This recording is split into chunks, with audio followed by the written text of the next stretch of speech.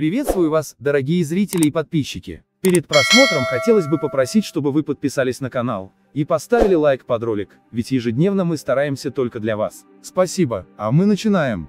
Покойная Нина Дорошина поделилась в одном из писем своей версией о кончине прославленного актера.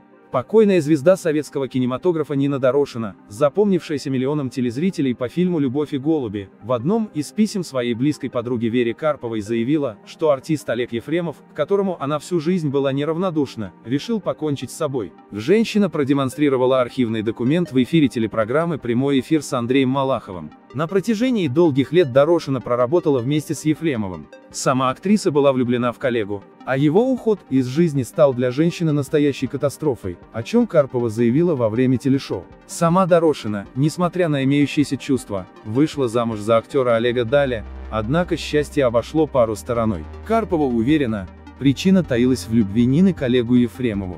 Вторым супругом звезды советского кино стал Владимир Ишков, работавший в «Современнике». Вместе они прожили до 2004 года, в тот же год Ишков скончался. В письме Карповой актриса писала о смерти Ефремова-старшего, скончавшегося 20 лет назад из-за заболевания легких. По словам актрисы, великий артист свел счеты с жизнью, а из-за утраты она не могла прийти в себя. Спасибо за просмотр, пишите свое мнение об этом в комментарии. Если хотите видеть главные новости каждый день первым, подписывайтесь на канал и не забывайте нажать на колокольчик. До встречи!